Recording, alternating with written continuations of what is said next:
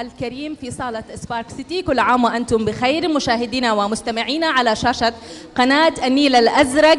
ثاني أيام العيد آه، يحلو ويزدان بصوت الفنانة نانسي عجاج التي تغنت للطبيعة. تغنت للإنسان للطبيعة للبساطة ولضحكة الشمس. فاستحقت أن تأسر قلوب المحبين وأصبحت كما يحلو لنا أميرة الإحساس رحبوا مرة أخرى بالفنانة نانسي عجاج. نانسي كل سنة وأنت طيبة. آه كل سنة وإنتي طيبة وكل سنة والحضور طيبين وكل سنة والمشاهدين طيبين وكل سنة والسودانيين في أي حتة كويسين وطيبين. آه، الفترة اللي فاتت كنا بنتعود على انقطاع للفنانة نانسي عجاج لكن في الفترة الأخيرة آه، في تواصل كبير جدا مع جمهورك كل المحبين اللي بيحرصوا على آه، ارتياد حفلات نانسي عجاج. آم، صحيح كان يعني أنا ممكن أقول عندي آم، يعني ما بكون متوفرة دائما بيكون عندي فترات كده بتاعة تجهيز وما إلى ذلك وبيكون لكن ما توقفت أصلا عن الحفلات الجماهيرية يعني. ممكن الإنتاج شوية يتأخر ياخذ مني زمن لكن صح ولا ما صح؟ أكيد الجمهور الكريم موعود بمجموعة من الأغنيات وأكيد أغنيات جديدة للفنانة نانسي عجاج المسرح لك ولجمهورك الكريم وأيضا برحب بالفرقة الموسيقية كل عام وأنتم بخير. تسلمي كثير شكرا.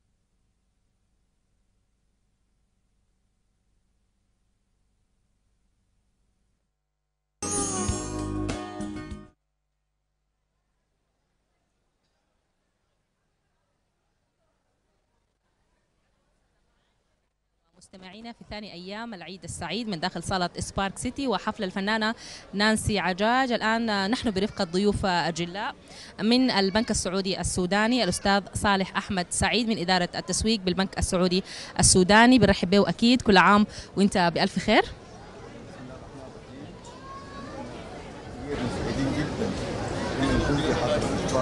سيدي إحنا في سمر في البدء بنهني الشعب السوداني غاضبة. وعملانا البنك السعودي بصفة خاصة بالعيد السعيد. ونحن سعيدين نكون في حضرة النيل الأزرق بقيادة الجنرال وسبار سيتي وسلطانة الطرب نانسي عجاج. مرحب بك أكيد. أيضا نرحب مشاهدينا بالأستاذة المحامية مروة عوض. كل عام وأنت بألف خير. بسم الله والحمد لله والصلاة والسلام على رسول الله. وأنتم بخير. الله يسلمكم. وكل سنة وأنتم طيبين. وإن شاء الله ربنا يعودوا علينا وعليكم وعلى الأمة السودانية والإسلامية بالخير والأمن والبركات. وبشكر قناة النيل الأزرق لاستضافتهم لنا. وكل سنة وأنتم طيبين. مرحب بك. وكل سنة وانت الله طيبة. أيضا يسلمك. يمتد الترحاب للأستاذ الصحفي بصحيفة ألوان الأستاذ أحمد محمد الصاوي. كل سنة وانت طيب. كل سنة وانت طيبة والشعب السوداني كله بخير ورفاهية وسعادة وأمن وطمأنينة إن شاء الله. وبصفة خاصة أحيي آه، قناة النيل الأزرق لهذا اليوم الجميل ولهذه الت- التظاهر الحلوة الفنية بقيادة سلطانة الطرب نانسي عياج وأتمنى للجميع في الداخل والخارج موفور الصحة والعافية إن شاء الله. مرحبا بك وان شاء الله تقضوا وقت جميل برفقة الفنان نانسي عجاج وأيضا آه، برفقة كل المشاهدين في قناة النيل الأزرق. مرحبا بك. مبسوطين مبسوطين بكم وكل عام وأنتم بخير. وانت بألف خير. نبدأ مع الأستاذ صالح. رعايتكم للفترة المفتوحة في ثاني أيام عيد الأضحية المبارك. وأيضا آه، من أول يوم لليوم الرابع هي تحت رعاية البنك السعودي السوداني. تفضل. والله نحن يعني حقيقة اخترنا النيل الأزرق بواسطة مستشارنا الإعلامي شركة اي نت النيل الأزرق الأكثر مشاهدة داخل وخارج السودان. ونحن آه، راعين ال- الفترة المفتوحة من خمسة لثمانية من أول يوم لرابع يوم. وعندنا عيديات يعني عندنا تلفونات بنتصل وعشان آه، نوضح للناس ال- الخدمات ال- الإلكترونية اللي بنقدمها. ده فيما يتعلق بالفترة المفتوحة لليوم. هنالك أيضا تكريم للفنانة نانسي عجاج. عندنا تكريم نعم. للأستاذة نانسي عجاج اليوم إن شاء الله بإذن الله تعالى لأنه هي من الفنانات المتفردات. وتحفيز أيضا للسادة المتصلين. آه. آه أي شخص بيتصل عنده هدية. الهديه الهديه عبارة عن شنو؟ بيتصل عنده هدية ده في ال- في الاستوديو. أها. أما نحن هنا دي مخصصيننا لحضور الصالة هنا. عندنا لكل واحد يتصل عليه 2 مليون جنيه 2000 جنيه. دي ضيوفنا الأكارم. لكار- اكارم هنا في في في الصالة. وفي ثالث يوم بكرة إن شاء الله من. الاستوديو من النيل الأزرق ورابع يوم امس برضه كان عندنا في النيل الأزرق.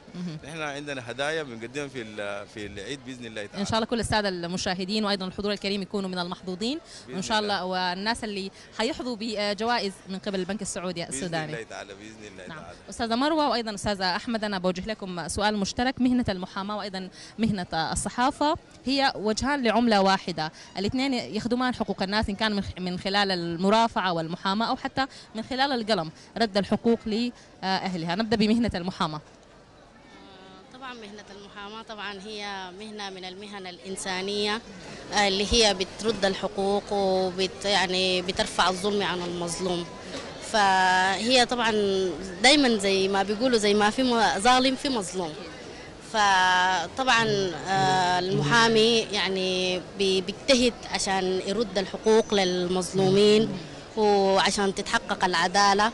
وهو عنده الدور الكبير في آه، يعني في في إظهار الحق مهنة المحاماة ومتاعب المهنة وأحيانا تداخلها مع مناسبات مختلفة زي مناسبة العيد. ال- الترويح عن النفس فترة العيد وأيضا آه، اتزانك أنت فترة العيد وفترة الإجازة. ده بيديك كمان دافع أكبر في أنك أنت ترجعي للشغل بنفسيات أحسن. أكيد طبعا أها. أكيد. يعني نحن بنكون يعني والله نحن طبعا أصلا بنكون شايلين هموم الناس على طول يعني. يعني مثلا عندنا قضية لازم نقدر نعرف الأدلة والشهود وكده يعني حتى يعني ال- أحيانا أحيا- آه، آه، أيام العيد بيتصلوا عليك الموكلين وبيقول لك يعني مثلا والله يا أخي أنا حاليا ما عارف اللي حيحصل شنو كده وريني القضية. يعني بيتصلوا عليك برضو شايلة مرة في الدقيقة. أي نعم نعم شايلين الهم وربنا يوفقنا على أساس إنه نرد ال- الحقوق للمظلومين ونحقق العدالة بإذن الله يا رب. الله إذا يسلمك. أستاذ أحمد أنا ممكن أعيد لك السؤال مرة أخرى إنه المهنة الصحافة والمحاماة الاثنين هم بيخدموا نفس الغرض رد الحقوق لأهدى لأهلها رد المظالم. من خلال القلم أيضا ممكن يكون آه أنت بترد الحق لإنسان هو عاجز عن أخذ حقه. طبعا طبعا. ال- ال- العلاقة كبيرة جدا بين ال- المحاماة والقضاء والصحافة الصحافة. هي الرأي يعني إذا كان في شخص مظلوم آه، كاتب صحفي آه، ترافع عنه أو شرح مدى الظلم الواقع عليه. آه، نفس المسألة بتلقاها عند القاضي وتلقاها عند ال- القضاء الواقف برضه. وبتتطلب أشياء كثيرة جدا يعني النزاهة أصلا في القلم أو في الحكم يعني بمعنى أنه الإساءة إذا كانت لشخص آه، بالذات الأيام دي جرائم المعلوماتية وكده. المتنبي آه، قال وإن يكن الفعل الذي أساء واحدا نعم. فأفعاله اللائي سررن ألوفه. بمعنى نعم. أنه آه، إذا كان الشخص آه، يعني معلوم لدى الناس بأنه رجل رحيم كريم يتعرض لإساءة أو تشويه أو تلبيس لسمعته فدي دي دي دي, دي طبعا ما جريمة كبيرة. بالتالي إذا في قلم تطرق أو انبرى لأن يدافع عن هذا الشخص المظلوم إذا كان حاكم أو محكوم أو آه، أي فرد من أفراد المجتمع فما كانت الصحافة إلا السلوك الطيب آه، والبراءة والنزاهة والصدق في المسألة. صحيح. بمعنى أنها هي ذاتها كأداة ثقافية يعني تثقيفية. زي ما بقول أخونا الأستاذ سموال آه، ثقافة تقود الحياة. سموال خلف الله. آه، فالمسألة مسألة آه، ففكرة حتى مصطفى أمين ومن خلال القلم الصحفي دوما يدافع عن قضايا هي قضايا في, في كثير من الأحيان تكون قضايا رأي عام وتشغل الرأي العام وتشغل الشارع السوداني. أيوة. نعم. فما طالما أنه في صحافة حرة طالما في صحافة ما عليها رقابة طالما في أنه نزاهة في الأقلام الواحد بيطمئن لأنه الشعب ذاته بيكون يعني في حالة بتاعت الطمأنينة أكبر وسلام وأمن يعني. صحيح. أحيانا في في قضايا بتشغلك أو موضوعات ممكن أنت تحس نفسك آه، شايلة معك لحد البيت. حتى في فترة العيد أو في فترة العطلة أنت بتكون شايل نفس الهم ولازم تتنفس من خلال القلم في إنك أنت توصل آه، رأيك ومرافعتك من خلال الكتابة. نعم دي معلومة جميلة جدا. دي مسألة ال- الحزن ال- والفقر والشح الأيدي وظروف الناس الصعبة وعدم وجود بنزين توصيل آه، المخابز ما شغالة معاناة الناس الصفوف إذا حصلت. آه، كلها مسائل يعني بتضطر الكاتب أنه يتطرق لها. كواحد من الناس الممكن ذاته هو بي- بيحتاج للعيش. آه، الرغيف ده عايز يقف في الصف يعني لما يجي مرهق الساعة 12 والساعة 11 12 و11 وبتاع ما يلقى لي رغيفة في الفرن؟ شنو أكثر القضايا اللي ممكن تكون شغلتك؟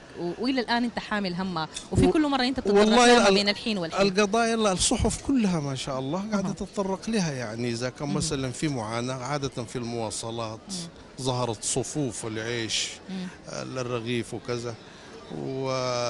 والأسعار ذات ارتفاع الأسعار. الأسعار آه، الإيجارات برضو مصيبة كبيرة جدا على الناس الدخلة محدود. آه، ال- ال- المسائل كلها حتى نخش في المجال الثقافي برضو. الثقافة بدورها يعني هي الهادي الجيد لأنه يقف ضد الأغاني الهابطة والمستهلكة والما عندها قيم ولا عندها مسل ولا بتمثل الشارع السوداني أو الأخلاق السودانية بشيء من ال- ال- العقلانية. دي حقها تكون برضه مل- ملفوظة يعني في الملفات وال الملفات الثقافية والفنية يعني في الصحف عموما. نعم. فما كانت الصحافة إلا الحق وما كانت إلا السلطة. الرابعة اللي أي شخص بيعرف على أنها هي السلطة صحيح. طالما أنه القضاء الواقف أو القضاء الجالس أو آه، آه، كل أنواع العدالة في السودان بتقف بجانب المواطن ولخدمة المواطن فده ده المطلوب يعني صحيح واكيد المطلوب. الصحفي دوما هو بيحمل الكبير. الهم وبيحمل أيضا وبيحس بمعاناة أخوه الإنسان وبيحاول دائما إنه يرد له حقه ويرد المظالم اللي آه، لأهلها إحنا. أكيد حنتواصل معك أستاذ أحمد لكن حنشوف أستاذ آه، صالح و.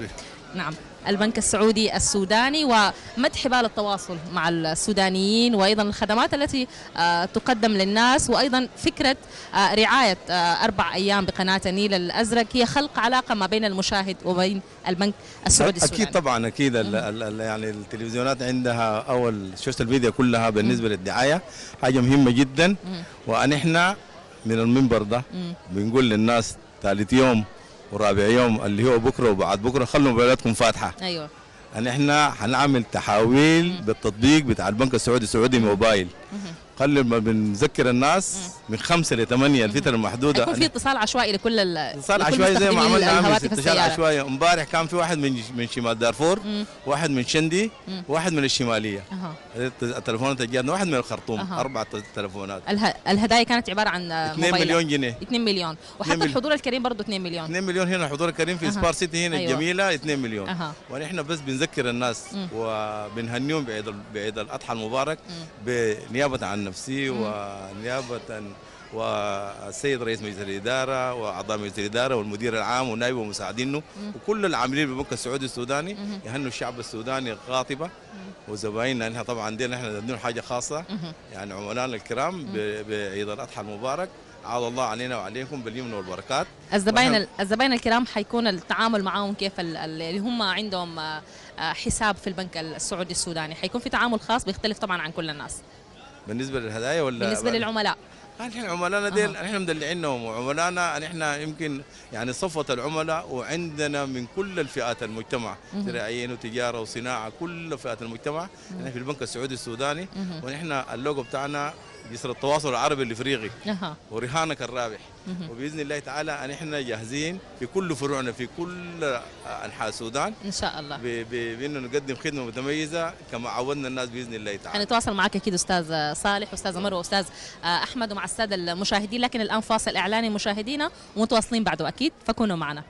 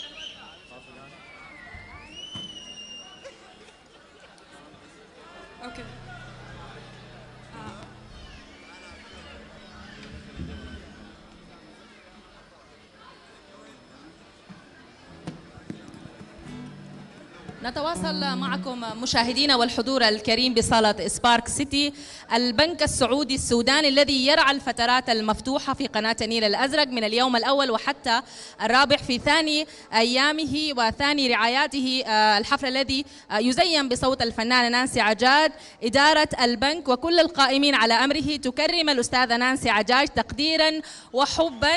الأستاذ صالح والأستاذة أحلام.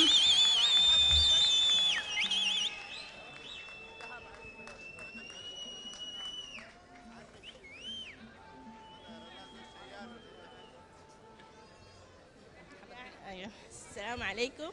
أحيي جمهور نانسي. ونانسي ما دايرة تعريف. خالقة لروحها بسمة. كل سنة وأنتم طيبين. وإن شاء الله دائما لامين. آه نانسي فتحنا لها حساب عن طريق التطبيق للموبايل السعودي. وعملنا لها حساب وجبنا لها بطاقتها وهي ما عارفة. أيضا الحضور الكريم بصالة سبارك سيتي موعود بتحفيز وجوائز للمتواجدين عبارة عن 2000 جنيه لكل شخص سيتم سحبه من داخل الصندوق.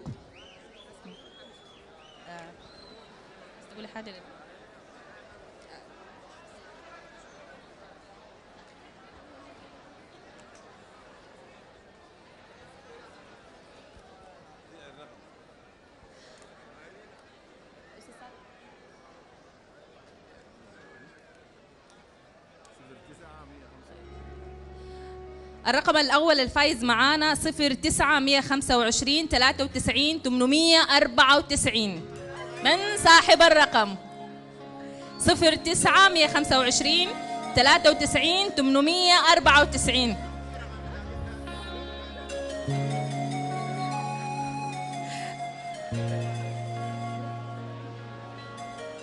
مبروك. مبروك الله يبارك. هتقول شنو لإدارة البنك؟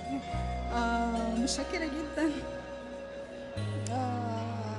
أنا كثير بجي حفلات نانسي و يعني بحبها جدا و... بتفضلي مع أستاذ صالح.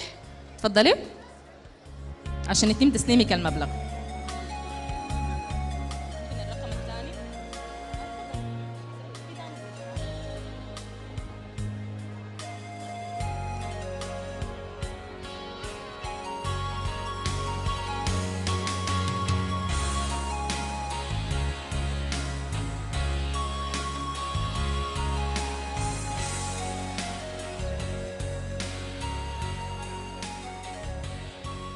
الرقم الثاني صفر تسعة 205 10 679 من صاحب الرقم؟ 09 205 10 679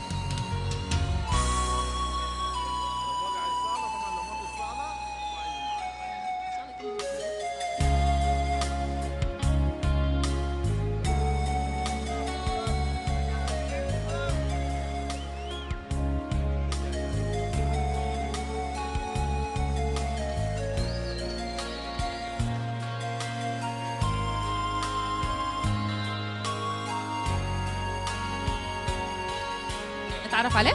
اسم وليد نجيب الطيب يمن الله. آه محلية الجزيرة. ألف مبروك. الله يبارك فيك شكرا جزيلا.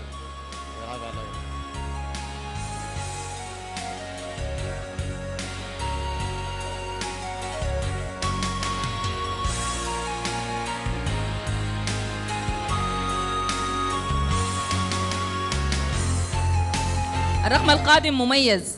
صفر مية ثلاثة وعشرين أربعة أصفار تسعة وعشرين.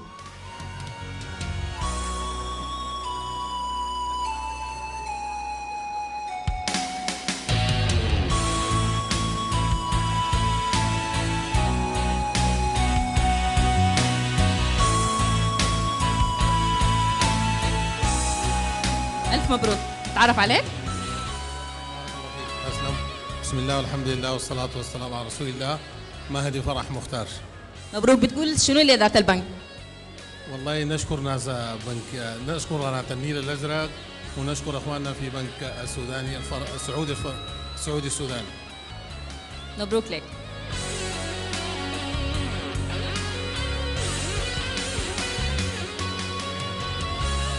الرقم القادم صفر تسعتين مية وستين خمسة واحد تسعة ثمانية.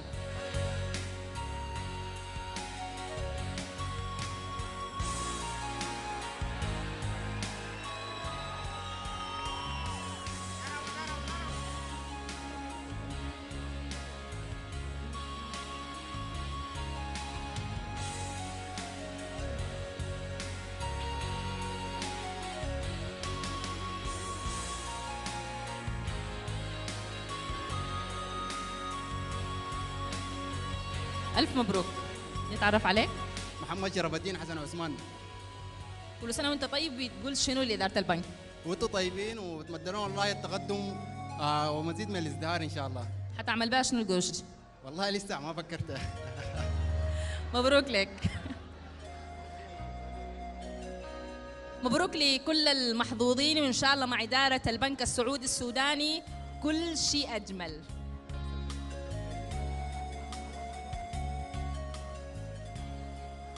نتواصل معكم مشاهدينا ومستمعينا والحضور الكريم بصالة سبارك سيتي في حفل الفنانة نانسي عجاج. ثاني أيام عيد الأضحى المبارك. بعد الفاصل الإعلاني.